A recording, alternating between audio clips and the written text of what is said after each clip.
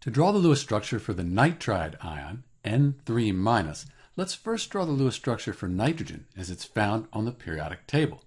When we look at nitrogen on the periodic table, it's just N. It's a neutral element. It doesn't have a charge. So we'll get rid of our charge, and that's called not nitride ion, but just nitrogen.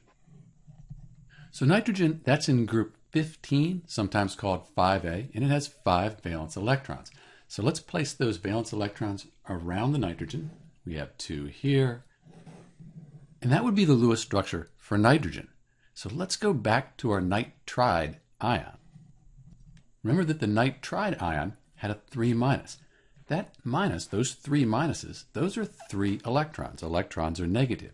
So we need to put three more electrons around the nitrogen here in order to come up with the nitride ion. So let's do that. Electron up here, they come in pairs. And that gives us a total of eight valence electrons. And when we do that for nitrogen, now this nitride ion, we have a full outer shell. We have an octet. And that's the reason that nitrogen becomes minus three when it forms ions. There's one last thing we should do. We should put brackets around that so we have the correct notation. And there you have it, the Lewis structure for the nitride ion, N3-. This is Dr. B, and thanks for watching.